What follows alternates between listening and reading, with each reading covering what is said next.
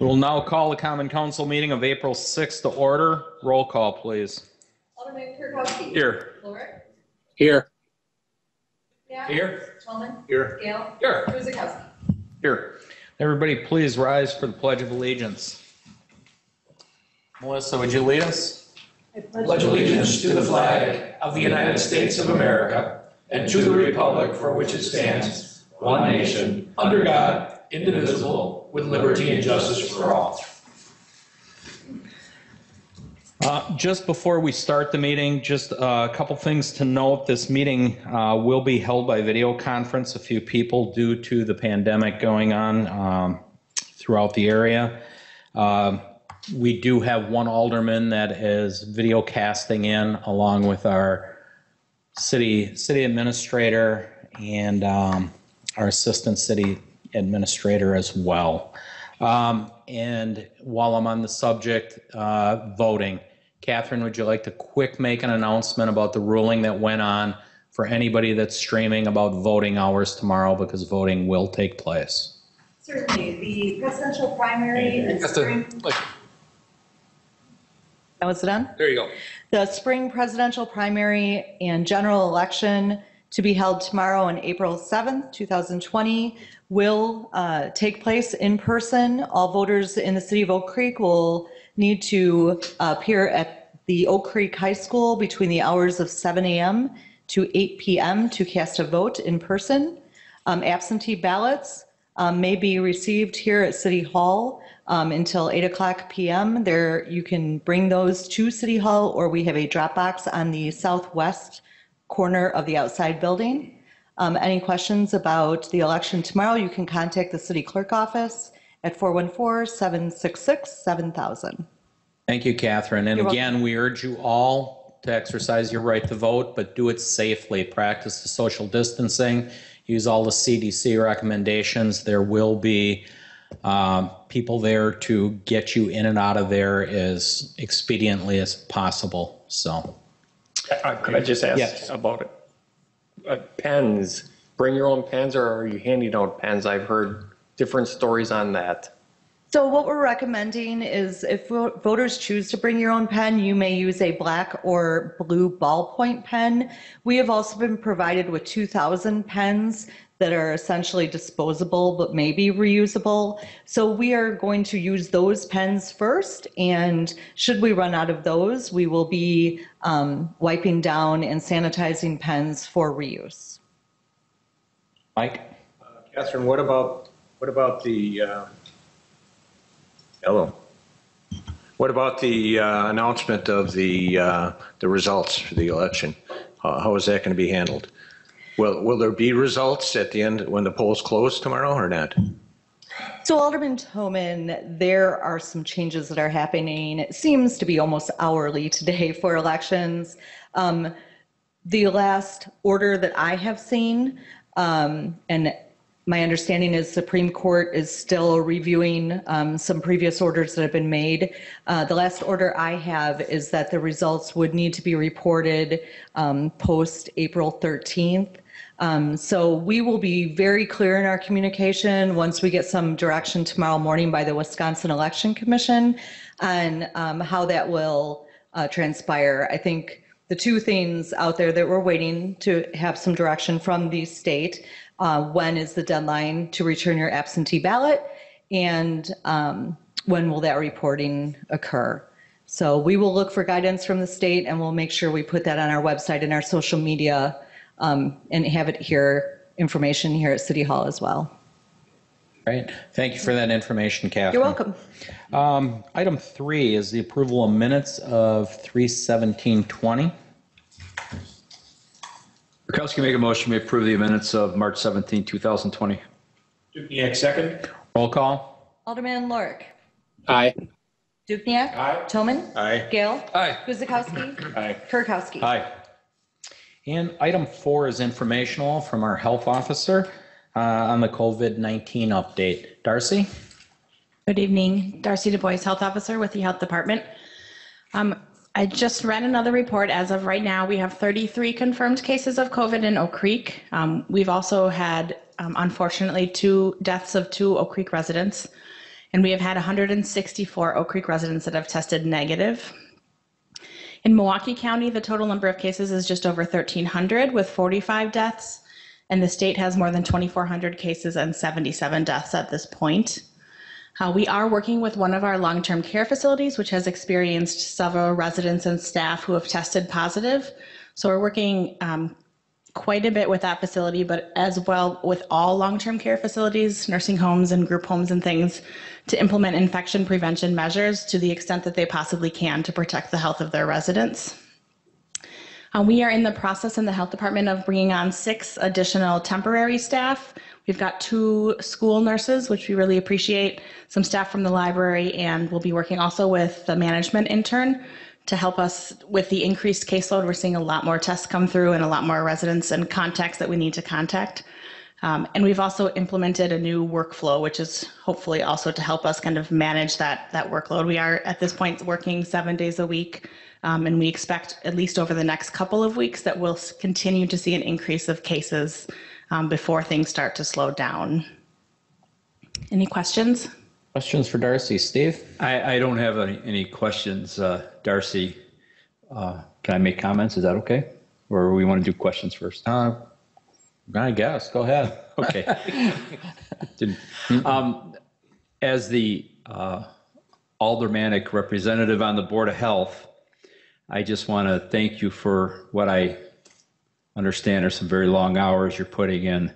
And, and I want to say this uh, contrary to what one resident is, is saying on a Facebook group that the health department's not doing anything and uh, demanding daily updates and even a, a meeting of the Board of Health. Well, uh, personally, I see those updates every day from the police department, the city website, the health department. I don't know what that person's missing because I get the daily updates on Facebook. So, and um, to call a meeting would be useless because we would get the same stuff we I read every day, and then we'd have ten people sitting in a in a room going, uh huh, okay, and we wouldn't. So I just want to thank you for that, and uh, I, I know that uh, the board, if the board of health was here, you know, we'd all be in agreement that uh, you're doing a a great job in uncharted territory, and we appreciate what you're doing. Yeah. Thank you, Steve. Any other questions for Darcy? No, Darcy, again, thank you on behalf of the city. Uh, We do appreciate it, and remember, we can get through this together, and the best thing we can do together is stay apart.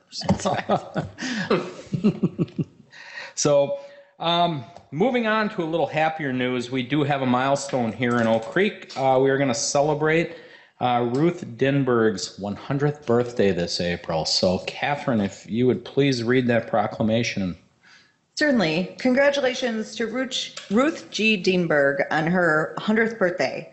Whereas Ruth Dienberg was born on April 6, 1920 to Gus and May Clum of Garfield, Washington. And whereas Ruth, in addition to Louise, Frances, Grace, Geraldine, and William, was the youngest daughter born to Gus and May. And whereas Ruth, along with her parents and siblings, moved to Idaho when she was just a little girl before the family eventually settled in Wisconsin. And whereas Ruth went to the Bureau of Nursing for training on practical nursing and would assist her sister Geraldine, who was the head nurse at the Milwaukee Hospital. And whereas Ruth met and married her husband Bill, and they had two children, Doug and Betty, together. In addition to being a loving wife and mother, Ruth Dienberg has been graced with four grandchildren.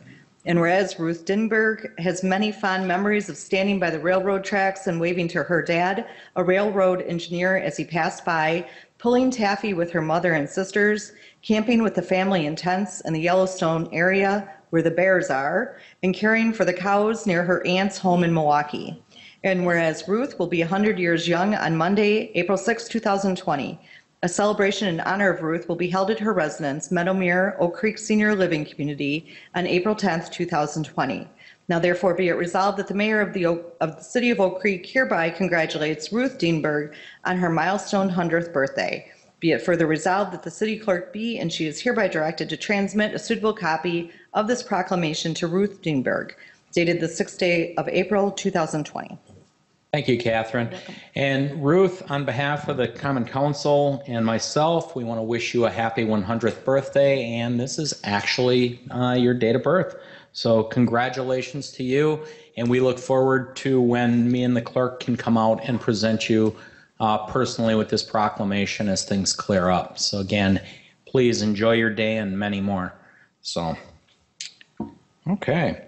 Um, Item six is our first public hearing. It's consideration of a conditional use submitted by Bruce Kinseth for the Oak Creek Hotel Association for a conditional use permit for the property located at 9315 South 13th. Catherine, would you read that in the record, please? Certainly. Public hearing number one is to consider a request submitted by Bruce Kinseth, Oak Creek Hotel Associates LLC, for a conditional use permit for a hotel in the property located at 9315 South 13th Street. Applicant is Bruce Bruce Kinseth, Oak Creek Hotel Associates LLC. Property owner is American Property Acquisition LLC. There follows the legal description. Date of notice is February 26, 2020. Thank you, Catherine. Doug? Thank you. Good evening. Uh, Going to change things up a little bit this evening, uh, given uh, the, uh, our protocols for our, our meeting. Uh, For those of you who are watching, eh, had an opportunity to uh, register or pre-register to participate in the public hearing. Uh, I understand we do have several people who have done that. Uh, For future reference, and we'll, we'll get this out, and I'm sure it's been out on our, our, our Facebook and our city website, but in the future, as as long as we're holding these types of meetings, you do have to pre-register if you want to participate. You can always live stream uh, on the city's webpage or you- the city's YouTube channel, uh, but uh, this is how we will conduct this meeting and future plan commission meetings. So our first public hearing uh, this evening, uh, Kevin, is there any way we can kind of get that full screen? I don't, I don't know. Uh, It it is a- for a conditional use permit for a hotel on a portion of the property at 9315 South 13th Street.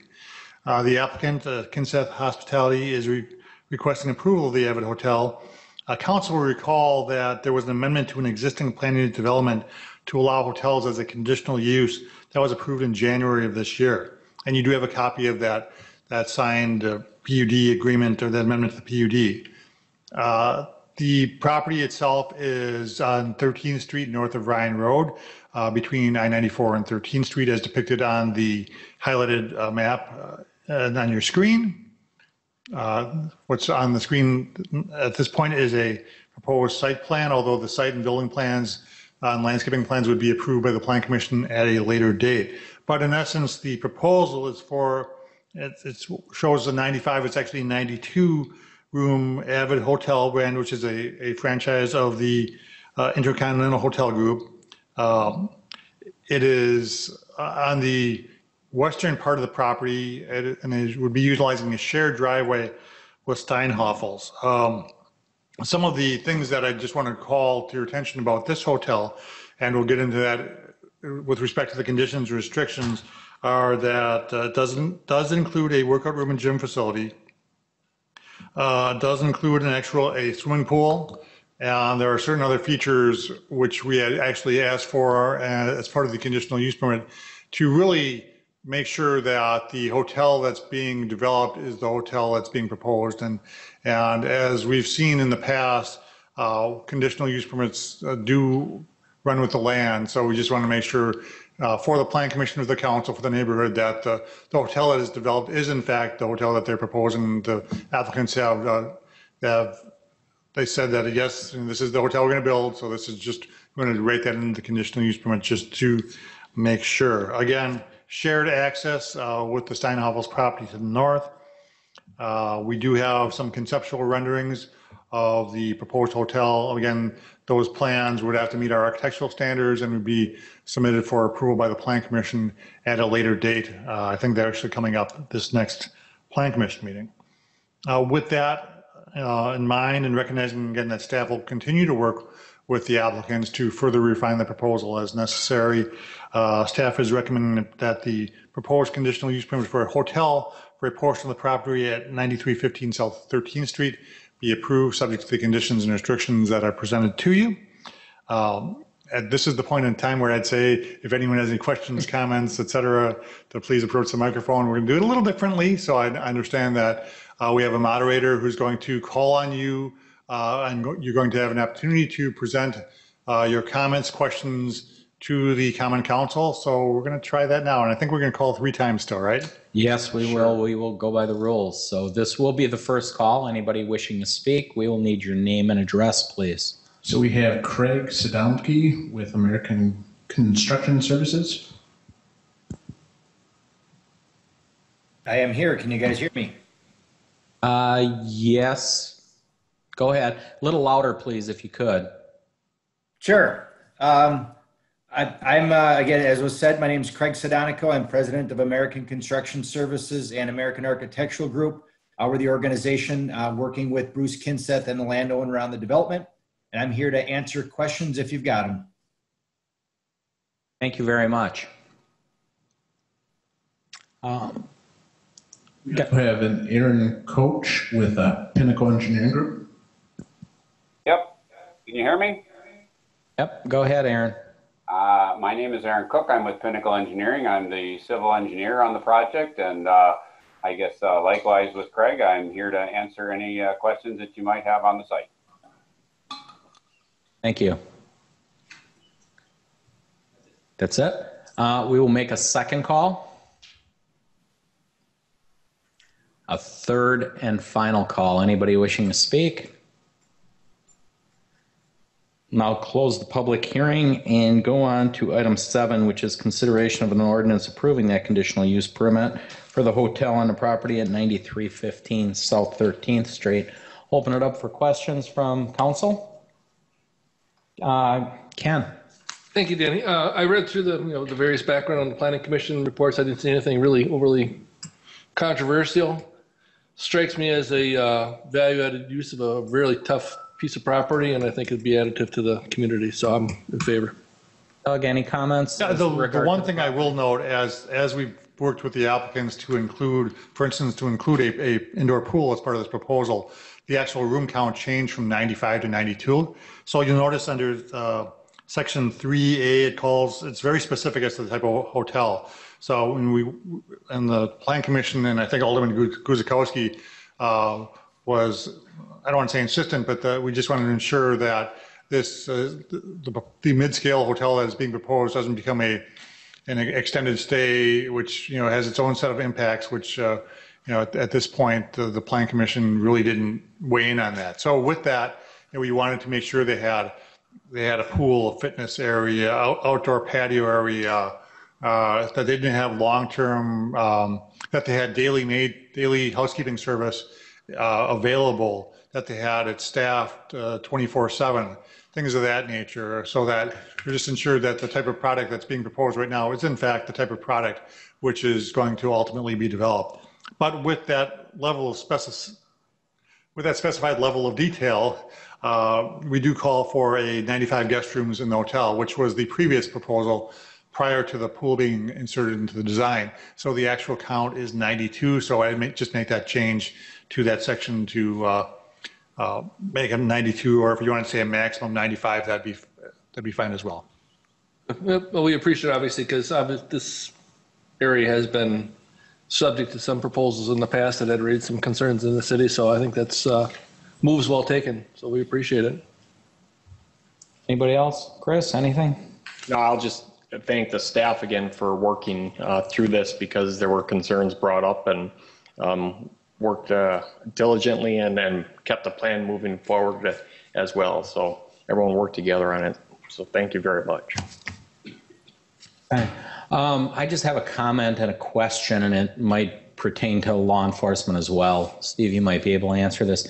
As we come across projects like this in Oak Creek, would it be worthwhile to put in conditions and restrictions that they'll meet with the police, uh, with law enforcement, uh, as to um, protection of property and and nuisance calls that at, that can pop up at these these type of places? Would it would it would it serve any purpose? Would it help us? Certainly, I mean, if the, if the council chose to put that language in, I, I think that's probably, uh, whether it's uh, enacted by this council as part of the conditions and restrictions or just uh, accomplished between the, the, the city and the property owner and the management company as a, as the right way of doing business, I think that certainly makes sense for each and every hotel property and management company to have that conversation with the police department. Just a minute. I, I would hope they are, but I, I don't know if it would help law enforcement at all. You want to come up, Steve? And just your opinion, just for future. I don't want to throw a wrench in this one. But uh, anything that we can do to help the business and, and help you guys as well. right this week. Um, we, uh, we try to reach out to the business groups as we can, especially when bigger events. Um, and one example, I, I would hate to have language that would curtail somebody from coming in, but I think if they want to be good business partners, as Doug said, we can, we can definitely continue to do that. Um, tried to get a hotel group together with the DNC coming in and we only have 11 hotel motels, but I had three, three represented. Well, I shouldn't say that. One represented three separate hotels and then the rest were there. So whether it was poor communication or they weren't able to get somebody there, we still reach out, we still work with them. I don't know if the language will uh, help that continue. We're still doing that. Okay. All right. Anything else? Nothing else? Motion, please, on seven. Guzikowski makes a motion that the council, uh, Guzikowski makes a motion that the council adopt ordinance number 2968, an ordinance to approve the conditional use permit for a hotel on a portion of the property of 9315 South 13th Street. Kurkowski will second. Before you vote on that, could you please, uh, if it'd be your pleasure to include the, under 3A, uh, a maximum of 95 guest rooms? Yes. As submitted by Doug. Concur? Yeah, I concur. Um, roll call. Alderman Duchniak. Aye. Toman. Aye. Gale. Aye. Guzikowski. Aye. Kurkowski. Aye. Loreck. Aye. Thank you, Greg. Almost forgot about you there. Um, item eight, um, consideration of conditional use submitted by Lauren Rehorst, uh, Live Oak Creek Health for a conditional use permit for a licensed massage therapy clinic located on the property at 9555 South Howell. Catherine, if you would. Certainly. Public hearing number two is to consider a request submitted by Lauren Lucia Rehorst, Live Oak Health LLC, for a conti- conditional use permit for a licensed massage therapy clinic on the property located at 9555 South Howell Avenue. Applicant is Lauren Lucia Rehorst, Live Oak Health LLC. Property owner is Gary and Lori Hintz. Legal description there follows. Date of notice is March 11th, 2020. Thank you, Catherine. You're welcome. Uh, Doug? Thank you. Once again, good evening. Uh, This proposal for a conditional use permit for a massage therapy clinic for Live Oak Health is for the property, the Oak Brook Center, 9555 South Howell Avenue. The business itself uh, doing, um, well, they are engaged in uh, permitted uses at this point in time is already open or may not be open right now, but uh, they have uh, received occupancy for certain aspects of their business. It's the massage therapy that under our zoning code does we require a conditional use permit. We have been working with the applicant and, and they have been uh, amenable to applying for this conditional use permit. We've still allowed them to open up the business without having the massage therapy component uh, going on at this point in time. And obviously that's all changed with the, with the presence orders that are in place. But uh, this conditional use permit would legitimize the, the use of that property for massage therapy. Uh, It is certainly something that is going to be state regulated. Uh, The Plan Commission has reviewed the proposal for massage therapy in this location, and they have recommended their approval, subject to the attached conditions and restrictions. Again, this being a public hearing, I think we have at least one, one person who uh, wishes to speak with relate, with respect to this proposed conditional use permit. And at that point in time, we'll open it up to the public hearing and we'll call three times. This public hearing is now open. This will be the first call. Kevin, you got somebody for us? Lauren, uh, Lucia Rehorst, the applicant. Yes, I'm here, Lauren Lucia Rehorst. Thank you very much. I'm here to answer any questions you may have. Great, thank you, Lauren. Um, second call. Third and final call. Anybody wishing to speak? And I'll close the public hearing and we'll move on to nine, which is consideration of an ordinance for the conditional use permit for that licensed massage therapy clinic at the multi-tenant building at 9555 South Howell. Open it up to the council for questions, comments? None? Ken? Just, uh, it's in my district, uh, Gary's building there. I have not heard any uh, feedback from any residents in in the district. And I know Doug's been working with Gary and his wife for a long time on, on this particular issue to get this squared away. So we appreciate the effort. It looks to be a, probably a very similar use to what's already in the building. So You're- You're correct. They did come into planning and uh, we talked to the business owner and um, it's a great addition to the area. So looking forward to it. Seeing nothing else, motion on nine? I'll Thank you move to very much. approve ordinance 2969 Oh, approving. I'm sorry. Sorry, Doug. Third call. But I heard someone, I Lauren? just are said thank still you. with I, us? I probably spoke out of turn. I'm sorry. No, no, go right ahead. I just said thank you for the Oh, we'll, we'll take that. Thank you. Uh, Where were we? Okay. Approve it, there we go. Got a Making a motion? motion, yeah. Uh, yeah, Gehl moves to approve ordinance 2969 approving a conditional use permit for a licensed massage therapy clinic in the multi-tenant building on the property at 9555 South Howell Avenue. Guzikowski second. Roll call. Alderman Toman. Aye. Gehl. Aye. Guzikowski. Aye. Kurkowski. Aye. Loreck. Aye. Duchniak.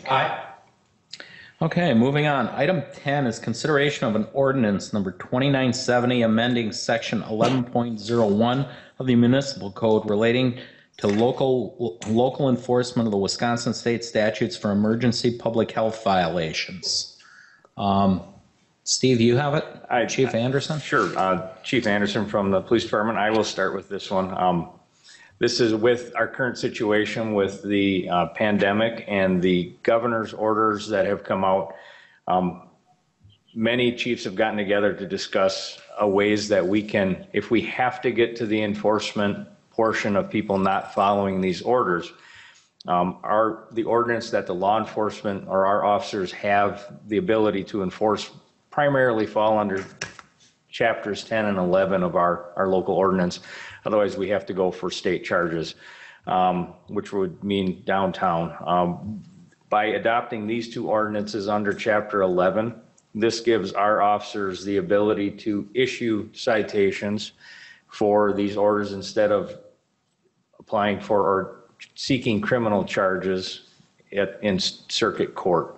Um, They both, and this is a trend that many municipalities are going to right now. Um, If we get to there, our primary goal is education and conformance uh, for our businesses and residents. But if we have to use something, this gives us the tool to be able to do that um, in the future. We appreciate that, and we understand that you do need these tools in these, these unprecedented times. So questions for Chief Anderson? Okay. No, Alderman Kurkowski, First District. Does this have any, uh, I understand it's probably a permanent thing, but it's only going to be around for as long as this uh, emergency orders are in place? This will be a permanent change and it will allow us to continue. It's just, it's going to apply to future orders or future violations of the health codes that fall under, Melissa may have to help me, but under the section of our ordinance that Darcy would oversee. So there are other things where somebody could be, have an infectious disease and they have to s- maintain staying where they're at. And if they fail to follow that order, this still gives us a tool as a police department to handle that situation in the future as well. Okay, thank you. Dan? Yes, Thanks, Dan. Uh, Steve, clarify for me, these are ordinances that are already on the books at the state level, right? So they're We're state incorporating them statutes, in- We're incorporating them into our municipal code, correct? right? And you say these powers currently would be given your folks, uh, if required or needed uh, at some point, under Darcy's direction to implement, know, enforce her, her orders or state? I can try that one, Alderman Gale. So the idea is under Chapter 8 of our municipal code, that's the health code. There's significant authority that's given to our health officer or Darcy here to enforce. Given her workload is one way of saying it right now during a pandemic, during a crisis. Chapter 252 of the statutes is regarding communicable diseases. And so by adopting the one ordinance under Chapter 11 of our municipal code, which is essentially enforcing nuisances and other violations, the police department would have the authority to issue citations at the local level. They already have the ability, that being the police department, to issue criminal charges anyway. But given the fact that if there really is a need to issue some sort of deterrent by way of citations in terms of sending the message about what an essential or a non-essential business might be under the governor's safer at home order, for example, or for any other situation, as Alderman Kurkowski asked, this will be on our books in our code so that there is that, I guess I would say, double downing. If the health officer has the inability or would like to um,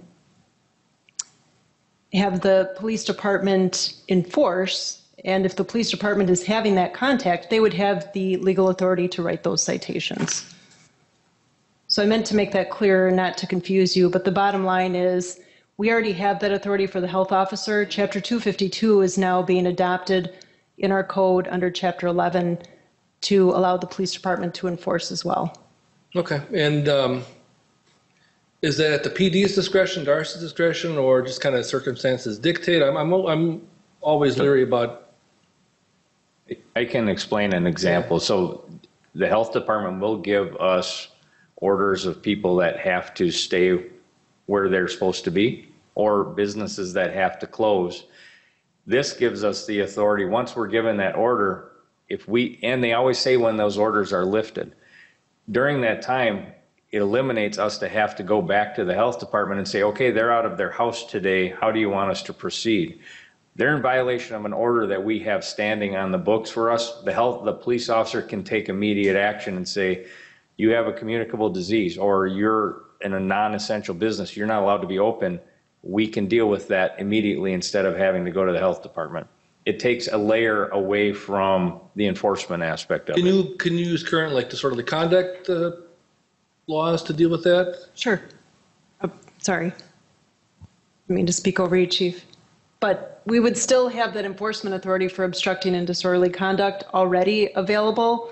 There might be some offenses that are better met by way of Chapter 252, and certainly in an emergency situation like this. The other reality of it is, we are in Milwaukee County, so the likelihood of trying to have charges issued on a criminal level for something that might otherwise be delegated down to the local level is just our trying to be prudent and get ahead of it if we can. So near term, obviously with, you know, going on, are orders under the current health orders from Darcy and the state kind of dictate activity. When those go away, I think that's a good way of saying it. That's my perspective, I those would orders go say. away. Yeah, but- Mine alone. Well, I would say this. I mean, there are other communicable disease issues Yeah, I that mean, go we've had, on. we've had TB, I mean, Sure. thing. And generally, the idea is for education to try to garner compliance, and so that's still where we're trying to go. Um, I would say from my role as a city attorney, I won't speak for the police department or the health department, but I think that the consensus is we're all trying to adapt quickly and we're all trying to do the right thing. So that would be the idea. The concern is we don't know what the time frame is, so we thought it'd be prudent to put this before you and then tell us if you'd like to proceed in that manner. No matter what, we have state laws that, Correct. on the books already. The concern, I would say, from my perspective, is if there's a real issue in terms of getting something charged, even if there is something from the police department that's submitted of a criminal nature and maybe it meets that test, whether or not there's the ability, especially now with circuit courts being limited in how they're operating and how they're running, this would not necessarily be a fast-tracked matter. We might have to look for other remedies, other relief, and might need to think more creatively. And this is frankly just back to basics, updating our code. And, and one thing, chapter 11.01 is filled with numerous statutes that fall in line with exactly what we're asking to do right now. They're all state laws that we have adopted so we can handle them municipally and write a ticket instead of proceeding downtown with the state charge if that's what we deem fit. It gives us an option. So much, much of the discretion was done at, at your level and your officers. Yes. Anyone else? Okay, seeing none, uh, motion, please. Kurkowski will make a motion that the council adopt ordinance number 2970, amending section 11.01 of the municipal code relating to local law enforcement of Wisconsin statutes for emergency public health violations. Yeah, second? Roll call. Alderman Gehl. Aye. Guzikowski. Aye. Kurkowski. Aye. Loreck. Aye. Duchniak. Aye. Toman. Aye. Item 11 is consideration of a resolution number 12151 040620, an emergency resolution consolidating polling places due to the COVID-19. Catherine, you got this one? Certainly. Um, So as you're aware, um, due to the circumstances, we realized some efficiencies by being able to consolidate polling places from six different locations to one. Um, We are able to use the currently not in use Oak Creek High School. Uh, We were able to accommodate all six locations there. Um, The min- minimum amount of poll workers that you can have working at any one location is three. Um, In a typical election, we operate with between nine and 15. It, you know, if it's a slow, low turnout or a high turnout. And currently I'm at four, lo- four poll workers per location. So I have enlisted some volunteers and um, some, some other National Guard and um, such to come and help tomorrow. Uh, But really, uh, we had to realize that this was um, something that needed to happen to be able to facilitate the selection for the city. Great, thank you, Catherine. And again, I think everybody realizes this has been a very fluid situation. Um, It was changing not only daily, but hourly going down here. Uh, We had to do something, and again, is a unique circumstance. So, um, questions, comments for Catherine? Nope. Uh, Rich? Yeah, uh, Catherine Alderman Duchniak, third district. We're just using the main building. We're not using the ninth grade campus at all. Is that correct? That's correct. Um, We're asking voters to come into the main entrance on the south side of the main high school. Um, And then there's many different exits. All the uh, districts will be located in the main large gymnasium. Um, With our expected turnout, it should fit very comfortably. Um, And we were able to organize it for a very nice traffic flow to limit social or to, um, I guess, promote social distancing. Yep, you're welcome. Ken? Just came in, Catherine, I- I'm assuming you guys took care of this. Do we do, are we doing some wayfinding or signage at the old existing polling places? to- I'm glad you asked. We are. So um, at the six different locations, um, today our DPW is kind enough to make special signs. Um, If any of the voters go to any of the existing polling la- locations that we typically use, there is a sign advising all voters in the city to please go to the high school to vote uh, tomorrow during the election. Those are already in place, as they also are here at City Hall. We have them on every entrance. Um, So it's a very clear message. Um, We're also doing social messaging as well as the website, trying to advise voters the best we can. Great. Um, Yeah. Good to hear. Okay. Um, Motion, please. We'll move to approve resolution 12151-040620, an emergency resolution consolidating polling places due to COVID-19. Guzikowski will second. Roll call. Alderman Guzikowski. Aye. Kurkowski. Aye. Loreck. Aye. Duchniak. Aye. Toman. Aye. Gehl. Aye. Item 12 is informational, and normally our treasurer would be here, but she's practicing uh, very wise social distancing. Um, So if there are any questions regarding um, our treasurer's report for the month, um, either I can handle it, we can direct it towards Bridget. I'm sure she'd be able to answer the questions. Um, But if you do take a look, it's really just our beginning balance, um, the interest earned, and and what we've increased or decreased. And again, this is just general tax rolls coming in and out, being paid out to the different municipalities. Bridget, would you like to comment anything on it? I don't think I got her. That's okay. Any questions as you Okay, we're guys look it connected. over? I was just trying to find the report. I have no comments unless there are questions. Oh, that's right, you don't. Okay. Um, Any questions? If not, I'll try to s- summa- make a summation of it. Okay. Uh, Seeing none on 12, we'll move on to the License Committee, and at this time, I'll turn that over to Alderman Kurkowski. Thank you, Mayor. I trust everybody has had an opportunity to review the uh, Common Council report regarding License Committee. Does anybody have any questions, cares, or concerns? Seeing none, then Kurkowski make a motion to grant the various license requests as listed on the April 6, 2020 License Committee report. Duchniak, second. Roll call? Alderman Kurkowski. Aye. Loreck. Aye.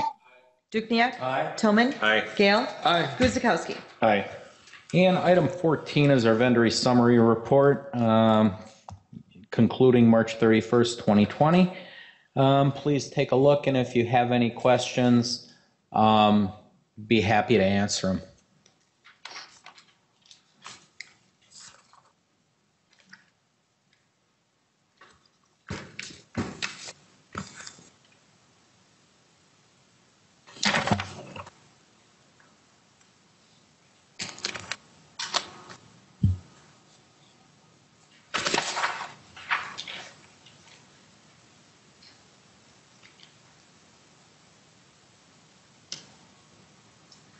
And when you, you are satisfied, we'll entertain a motion.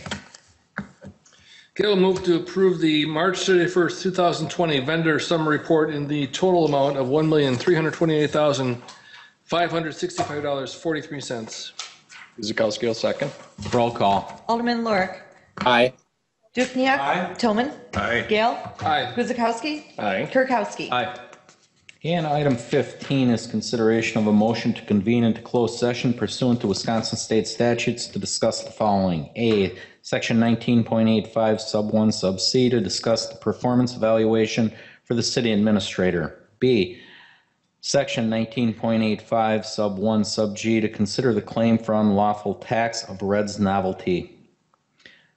Item C, Section 19.85, Sub 1, Sub G, to consider the claim for unlawful tax of Reggie's Amusements. And D, Section 19.85, Sub 1, Sub G, to discuss Tamika Bates et al. versus the City of Oak Creek et al. County Case Number 2019 CV 003954. President Gehl? Thank you, Mayor. Gehl moves to convene in the closed session pursuant to Wisconsin State statutes to discuss the following. A, Section 19.85, Sub 1, Sub C, to discuss the performance evaluation for the city administrator. B, Section 19.85, Sub 1, Sub G, to consider the claim for unlawful tax of Reds and Novelty Limited.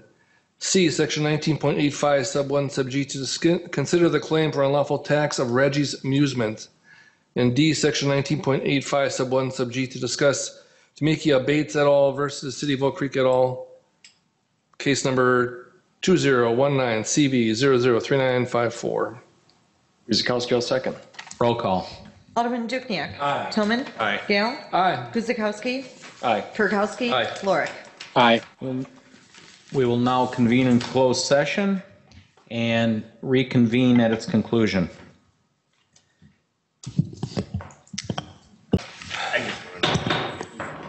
Now reconvene in, we'll now reconvene into open session. You Want a motion that, Ken? Yeah, Gehl moves to reconvene in open session. Guzikowski will second. Roll call. Alderman Toman. Aye. Gehl. Aye. Guzikowski. Aye. Kurkowski. Aye. Loreck. Aye. Duchniak. Aye. And item 17 is to consider any uh, action if needed on items A through D and 15. Thank you, Mayor. Uh, With that said, Gehl is going to move that the common council deny the unlawful tax claim of Reds Novelty Limited and issue a notice of disallowance. Guzikowski will second. Roll call.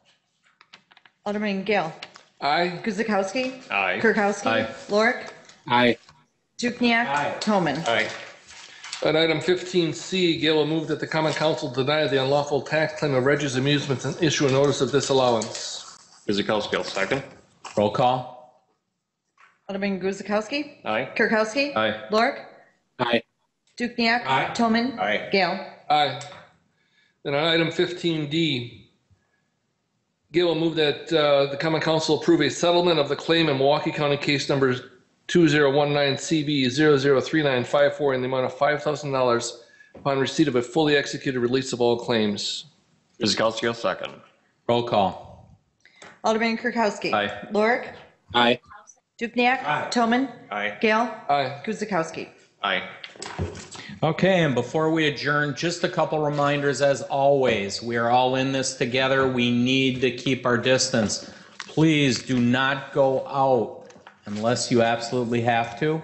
When you do, send one person out from a household. We don't need families out there showing up to vote uh, or to grocery shop or to things like that.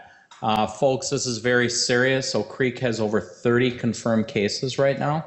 That was a report. That number has doubled in five days. Five days ago, we were at 15. We can do better as a city, so please keep your distance. Um, And a reminder, voting is taking place tomorrow. Polls open at 7 a.m. Polls will be open 7 a.m. to 8 p.m. at the Oak Creek High School, and uh, we are practicing as many safe pract- um, sanitizing and practices that we can uh, to make sure both our poll workers and our voters' safety. Thank you, Catherine. And remember, the city can only be as safe as you make us safe with your cooperation. So please be respectful of others when you're there and keep it short and brief. Um, Adjournment, please. Else, can make a motion to adjourn. Duchniak, second. Roll call. Alderman Loreck. Aye. Duchniak. Aye. Toman. Aye. Gehl. Aye. Guzikowski. Aye. Kurkowski. Aye. Night, everybody. Stay safe.